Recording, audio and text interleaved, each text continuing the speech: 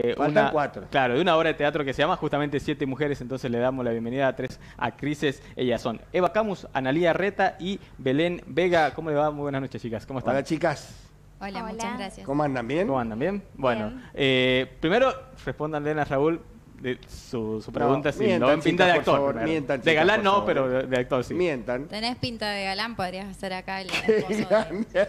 Ahí está, listo, bueno, te puedes listo. ir, Bueno, te puedes ir, bueno. listo, te puedes ir. Bueno, pero ellos están justamente con nosotros porque están presentando una obra ya conocida en realidad porque se dio antes de la pandemia, es Siete Mujeres y vuelven nuevamente a los escenarios. Volvemos nuevamente después de la pandemia, la volvemos a poner en los escenarios, así que estamos muy contentas de, de volver después de, de dos años de estar paradas, de estar, bueno, todos parados, Claro. digamos, en la provincia. Así que, bueno, muy contentos porque la verdad es que siempre hubo mucha gente que nos apoyó y nos fue a, a ver y, y la verdad que es una obra que la gente le gusta, es una comedia que es difícil hacer reír, pero la gente está una hora y media, la verdad que acompañándonos con la risa. Así que está bueno, está bueno. Bien, bueno, ¿y de qué trata justamente esta, esta comedia? ¿Cómo, ¿Cómo se logra hacer reír a, a la gente después de tantas dificultades que han tenido en el año, no? Eh, ¿Se escucha? Sí. Eh, bueno, en realidad es una temática eh, de la vida diaria, digamos, que podría llegar a ocurrir perfectamente. Entonces la gente yo creo que se siente identificada con esos trastornos o esos pensamientos o esas ah, idas y vueltas que tenemos las mujeres en muchas, en este caso. Y, y bueno, las idas y vueltas, entonces eh, los malos entendidos, eh, y bueno, y la gente se siente a lo mejor identificado con esto, que es más, digamos, un, un humor eh, que lo puede entender cualquier persona. Eso está bueno decirlo, porque no tan solo el, el que se dedica al teatro, al arte, sino que está abierto para todo el público y es muy ameno. Y, Claro. y bueno, y nosotros nos verán la cara ya, nos, ya provocamos risa. Sí. no sé. Bien. Bueno, ¿dónde, ¿dónde en qué teatro dijeron? ¿Pueden? En el test. ¿En el? En la sala test, Sala test. Ujú. En el test. en la Bien. sala test. Eh, queda por Riva, eh, queda en Rivadavia. Acercar el micrófono para que Ah. se No, sí, tiene sí. micrófono. Ah, tiene micrófono. Sí, sí, sí, sí. Queda en Rivadavia, eh, por la calle Reconquista y Bueno, jueves 28 a las Sí. 21.30 horas. Bien. Juan B. Justo, 335 Sur. Sur, Rivadavia. Bien. Bueno, este, me Sí. parece que es realmente como para invitar, para que vayan, para Sí, que concurran. el jueves me, me Es el jueves 28 a las 9 y media y es eso un poco, se plantea un montón de temas de actualidad, que eso es lo que convoca, creo, que es un poco los temas de, de hoy, un poco de género, un poco de el tema de los mandatos. Eh, la obra transcurre, eh, es la preboda de Lola, en este caso es mi personaje, y, un- y su familia, y un par de amigas, y bueno, la, y la wedding planner de la, de la, de la boda. Eh, y empiezan a, a cuestionarse un montón de cosas que tienen que ver con la sexualidad, con los mandatos, eh, con bueno, un montón de las infidelidades, etcétera. Entonces está muy bueno porque son temas de, de actualidad. Entonces, como dijo ella, se ven identificados en ese sentido. O sea, todos los Claro. que la ven se van a ver identificados en esos Claro, cuestionamientos y en ese sentido está muy buena. Además, además me imagino que hay temática como la que vos tocaste de género, que no debe ser fácil aportarlo desde ese punto de vista, es el punto de vista simpático, agradable, que caiga bien, ¿no? Así que debe ser una obra que esté realmente muy bien estructurada. la Está muy bien estructurada. Es una obra mexicana, hay que decirlo, que nosotros hemos podido adaptarla con un poco de, de lenguaje acá Claro. sanjuanino Sí. también, si Claro, se quiere, por sí, eso sí. también se ríen porque Que hay eso, mucha- eso es lo que hace Bien. simpático. Eso es lo que hace simpático, pero es una obra mexicana que está muy bien trabajada, eh, así que bueno, es eso básicamente.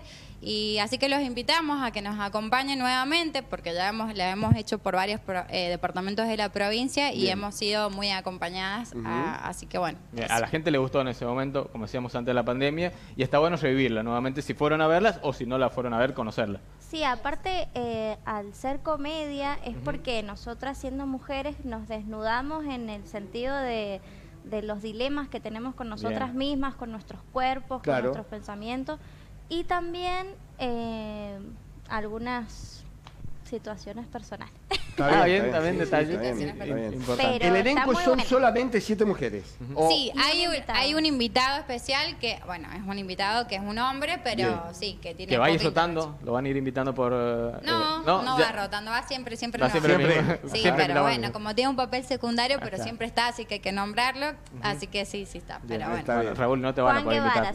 Juan, Juancito Guevara, que es el que nos acompaña siempre, es un actor también, así que... Pero sí, te Ah, podemos bien. llevar, puede ser vos, porque es un entrevistador. Si ustedes. eh, Así que- Ah, bueno, Ah, si es entrevistador, Es estar yo, no tengo ningún problema. No, bueno, sí, Como puede. si necesitan un galán, por ejemplo. Eh, también necesitamos un galán. Ajá, También. Sí. ¿Acaso Rodolfo Claro. No es galán a los 78 años? ¿Ah? Claro, Y bueno. claro, claro. Bueno, no, pero es un está. entrevistador. Quizás encontrés tu profesión. Te aclaro una cosa, le Sí. aclaro una cosa, chica. Tengo mucho menos que Rodolfo Bebán. Tengo mucha menos edad que Rodolfo Bebán. Pero digo, quizás encontrás tu profesión, porque acá todavía no la encontramos, Ah, es pero que cierto, quizás es allá cierto, sí. es Pro- cierto, puede es ser, cierto. puede ser. Bueno, uno dice que la beta actoral se encuentra todos los días. Bueno, no sé. si- Yo no sé también ya he sido actor de telenovelas. Bien. Es un entrevistador de las revistas de corazón, así que sí. Ah, ahí está. Sí, eh, es lo tuyo. Es, Es lo mío, Es lo mío, es lo mío. Exactamente. Bueno, eh, ustedes recién ahí comentaban eh, lo difícil que fue la pandemia para, para todos en realidad, pero más también para el sector artístico, porque bueno, tener que eh, hacerlo de alguna forma, de forma virtual, no era para todos también, hay que decirlo, eh, y cómo fue de a poco abriéndose la capacidad de los teatros, bueno, finalmente hoy tenemos 100%, pero ¿cómo fue este, estos años de, de pandemia, este, este año y medio de pandemia? Y la verdad es que nosotros formamos parte de un taller que es quien nos dirige es Marcelo Villanueva Meyer, que es el director de la, Bien. de la obra. Eh, y seguimos con el taller, también seguimos de forma virtual y bueno, fue bastante difícil, mucha gente fue, se fue quedando en el camino.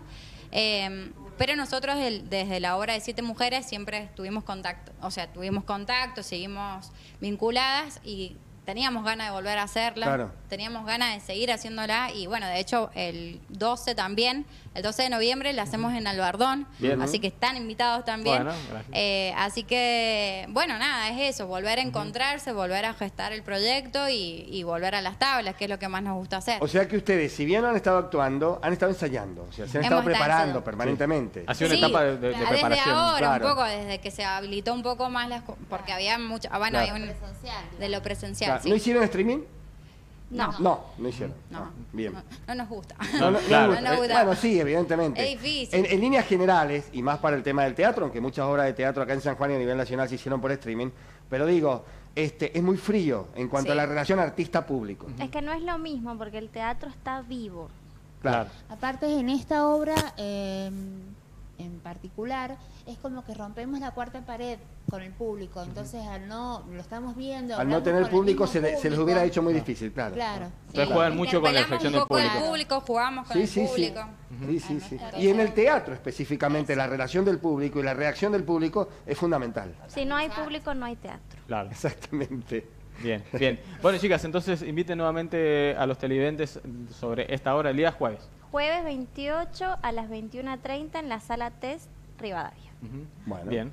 Bueno, Muy bien. Yo salgo de acá y me voy para allá. ¿Ok? Ah, bien, perfecto. Las ventas eh, Sí. son por un link que nosotros lo podemos pasar ¿Sí? eh, Sí, sí, sí, díganlo, díganlo. por cualquier lado, pero no sé cómo... Lo pueden en la página de la sala test, eh, aparece, es por la página de Eventbrite, pero lo pueden comprar, es por internet. Y si Bien. no, en la misma sala, en la misma puerta, lo pueden adquirir ahí las Ah, entradas. también se puede, Sí, también sí, sí. la compra presencial, La digamos. compra. Sí, sí, sí. ¿Precio Bien. de las entradas?